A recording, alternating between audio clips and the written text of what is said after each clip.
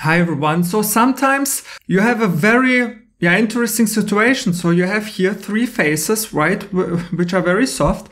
And in the middle, you have like this edge. And what gives you is this nice puzzle to solve where you have to ask yourself, how do you can fillet this situation? Because as you see, you can't fillet this edge. Um, okay, you can fillet, yeah, this edge, but uh, you see it's yeah it's not what we uh, want and you can't also fillet this and you can't select all of those at once and fillet that. So we have to do that manually with surface modeling. So below this video you can just download this project file of only this handle so you can follow along and do that otherwise you will not learn anything.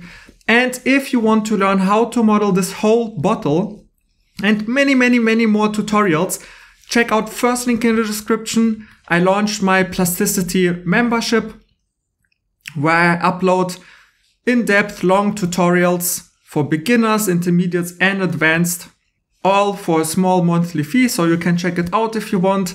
And let's dive into this tutorial. So first of all, it's like always, when you do a little bit more of complex stuff, you, you have to give the fillets with surface modeling manually because this will give you, you will see it's the best perfect result. So we have to pipe, uh, create a pipe between, so where this edges between those faces.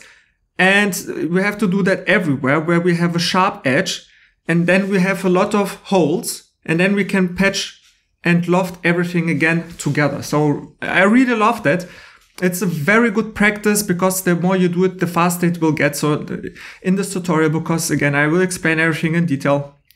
It takes a little bit longer, but if you do it on your own, it gets faster. So select this edge, shift D to duplicate it, and then just press P for pipe. And let's give it here, uh, just for this example, 003. And uh, so we can give everywhere the same value. And also always select those end faces and extrude them a little bit because everything has to intersect. So now we select those two faces, Alt J to unjoin. So in object mode, we can select this face, shift click this pipe, and if you press Q, bam. You see? Now we have a hole. So we have some space to loft that in a second. But we have to do that first at all other uh, edges.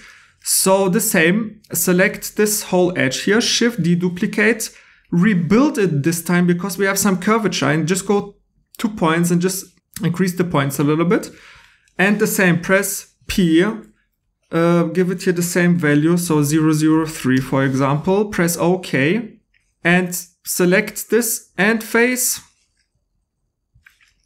and this end face and just extrude that. And now select this face, this face, this face, and this face where we want the hole. And again, Alt J. And you see we have two separate sheets. So just press. So you see we have now this piece here. And again, select it with object mode, shift click this pipe, Q.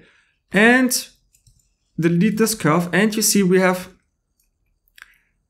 again some holes. And yeah, what I'm seeing, I did a little mistake here. So first of all, um, yeah, you could give here a pipe, right? But I think this example, if you just have one edge and it's straight, what you can do is just select this face here, control R for me. So for you, it's isoparam. So search for the isoparam mode uh, function and give it here an extra edge and here the same shift R, uh, isoparam, give it here and now just delete those faces because we just need this distance. So I don't know if you're an engineer, you can give the distance that you want, but yeah, anyway. So, and this edge, yeah, it would be a better idea if I would give this pipe from uh, before also this edge here. So let's do the same here, Shift D and rebuild it, give it a few extra points, press OK, press P pipe and give it 003, OK.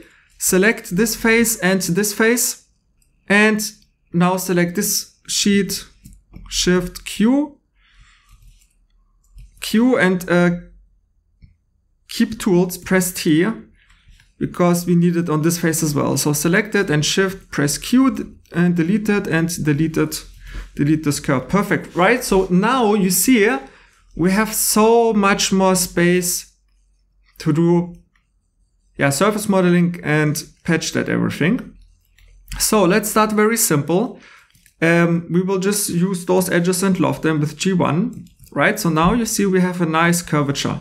So we can do the same here and just go one by one. Loft and that looks also fine.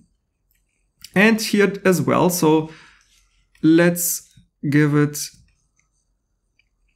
okay so let's give it here because here we have to do the same but just for the tutorial so now you see we have already some fillets and so here it's a little bit trickier and because you can't really loft that because you see you will get something like that and this is not what we want so what we want to do is we want to give here an extra edge so this edge and this edge will be the same length so then we have like kind of a pentagon penta is five, right? So we have kind of a pentagon and this we can patch then and you will see it will be super clean.